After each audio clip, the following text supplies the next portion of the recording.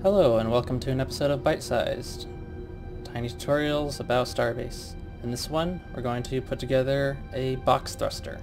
To begin, you're going to need these components.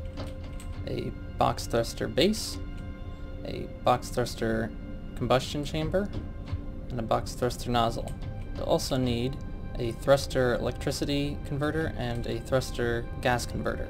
First, we'll grab the thruster base, move it to an accessible area.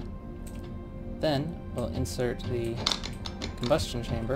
It goes in the front now. Note that there are two holes on the top. Those need to match up with the holes on the top of the box. Now we're going to bolt it into place on either side. Next we're going to insert the nozzle. We're just going to turn that around place it there, and again, bolts go in the yellow spots. Last two components are the two converters. Those go right in the top. And if you're not getting the snapping that you're seeing here, ooh, that was a big jump.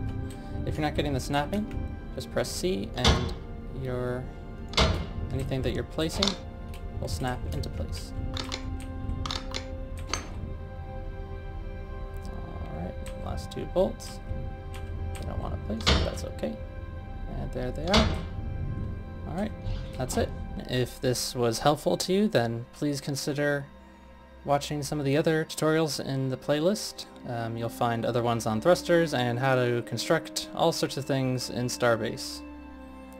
Alright, hope you have the best of luck on whatever it is you're trying to construct, and have a good one. XenoCow signing off.